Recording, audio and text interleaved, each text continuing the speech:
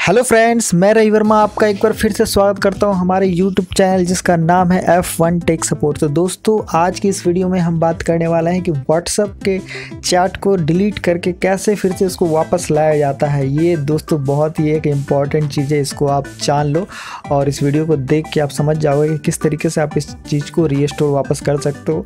हमने अपना WhatsApp open कर लिया और सबसे पहले आपको बताते हैं कि इस चीज़ के लिए आपको सबसे पहले तो हमारे सब्सक्राइब बटन को लाल से काला करना होगा। और लाइक करना होगा कमेंट करना होगा शेयर करना होगा।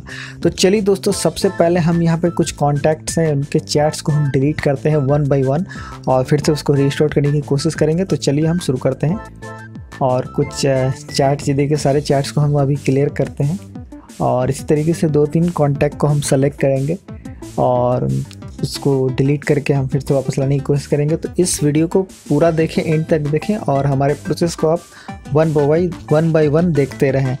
और तो चलिए हम अपने प्रोसेस को कर रहे हैं और आप इसको देखते रहिए, ठीक है? बहुत ही अच्छी जानकारी मिलेगी।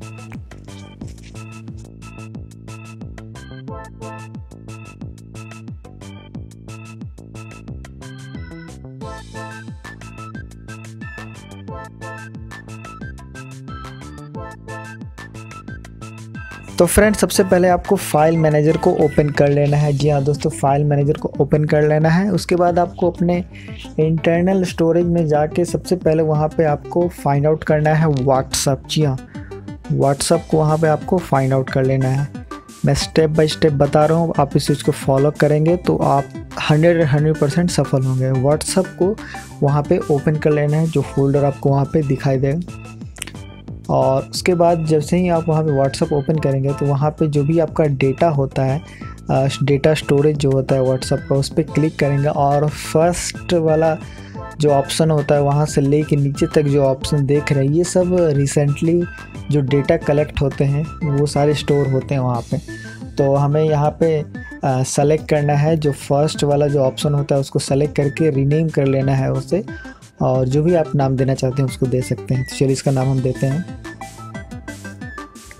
कुछ भी जो आपके मन में हो, किसी के नाम से आप इसको रख सकते हैं। नाम देने के बाद हमें इस चीज़ को फिर से बैक करना होगा और जाना होगा फिर से हमें व्हाट्सअप ऐप की तरफ़। और व्हाट्सअप ऐप को आप ओपन यहाँ पर नहीं करना है, सीधे इसके डिटेल्स में जाना है। देखिए किस तरीके से इसका डिटेल्स है। ऐप डिटेल में जाना है और वहाँ पे हमें सीधा इसका जो एप्लीकेशन का डेटा है, उसको सिंपली क्लियर कर देना है। तो कैसे होता है इस चीज़ को देखिए आप। यहाँ पे जो है क्लियर डेटा पे क्लिक कर देना है। यहाँ पे देखिए डिलीट का ऑप्शन भी आ रहा था और ये जो है, हमारा जो डेटा है पूरा क्लियर हो गया। यानी कि हमारे व्हाट्सअप में अब कुछ नहीं है। तो चलिए अब सिंपली हम यहाँ पे व्हाट्सअप को अब फिर से ओपन करते हैं। तो ये देखिए हमें न्यू जैसे मैंने जब आप नया लैप सॉरी जब आप नया व्हाट्सअप को इंस्टॉल करते हैं, उस तरीके से ये प्रोसेस होगा तो उसको फिलअप कीजिए। मैं भी करता हूँ इस चीज़ को।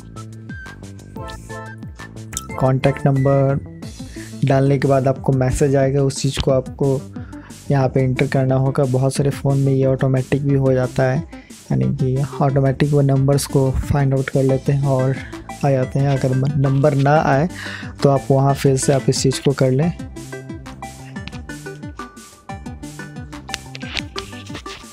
तो फ्रेंड देखिए, यहाँ पे बैकअप का ऑटोमेटिक ऑप्शन आ चुका है। हमें इसे सिंपली से रीस्टोर करना है। ध्यान में रखिए सिंपली से रीस्टोर करना है और रीस्टोर आपके नेट के ऊपर डिपेंड करता है कितना डेटा कितना फास्ट है आपका।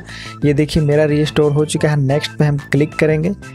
नेक्स्ट का बटन देख लीजिए। नेक्स्ट पे हम यहाँ पे सिंपली क्लिक करेंगे और व्हाट्सअप हमारा फिर से जो है कन्फिगर हो जाएगा। जी हाँ देख सकते हैं, रवि वर्मा नाम आ गया है। ये कन्फिगर हो रहा है हमारा व्हाट्सअप और उसके बाद देखते हैं कि क्या होता है। जो हमने व्हाट्सअप का डेटा गलती से डिलीट किया था और रिसेंटली चैट्स वगैरह इन सबको डिलीट किया था, वो वापस आता है कि नहीं? यहाँ पर नेवर अपने अनुसार आप इस चीज़ को कर सकते हैं। या आपके स्टोर जो होते हैं ईमेल आई ऑटोमेटिक होता है। तो ये देखिए हम जिस जिस कॉन्टैक्ट के डेटा को क्लियर किए थे ये देखिए सिंपली से सारा चीज़ उसी तरीके से वापस आ गया है दोस्तों। आ, ये एक बहुत ही अच्छी चीज़ है इसको आप ट्राई करें सच में बहुत मज़ा आएगा। गलती से अगर कुछ भी डिलीट हो जाता है तो इस तरीके से आप करके अपने डेटा को बचा सकते हैं और बहुत ही अच्छा लगता है हमारा डेटा जब फिर से वापस आता है तो। तो चलिए फ़िलहाल के लिए इस वीडियो में इतना ही। हमारे चैनल को सब्सक्राइब कर लीजिएगा और बेल आइकन को ज़रूर दबाइएगा। फ़िलहाल के लिए इस वीडियो में इतना ही। तब तक के लिए जय हिंद वंदे मातरम।